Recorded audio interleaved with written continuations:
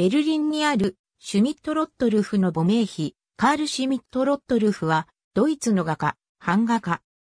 印象主義の作風で知られ、ブルッケの作家の一人として活躍した。キルヒナーに通ずる大胆な色彩を用いる作風で知られるほか、木版画も多数残している。本名はカール・シュミット。帝政ドイツのザクセン王国にあるロットルフという町で生まれた。はじめは建築を学んだが、後に海外へ転校。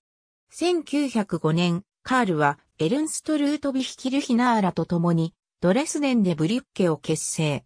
同じ頃、記事、ロットルフにちなんで、シュミット・ロットルフの名を名乗るようになった。同年11月に、ブリュッケの初の展覧会を、ライプツヒで開催した。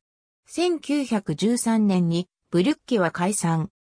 1930年代に入り、ナチスが台頭すると、シュミット・ロットルフは大敗芸術家の楽印を押され、迫害された。1976年8月10日に死去。その頃には、ブリュッケのメンバーの最後の一人となっていた。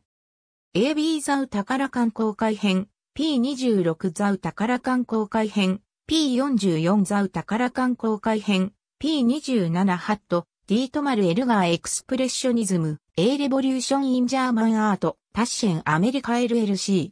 ありがとうございます。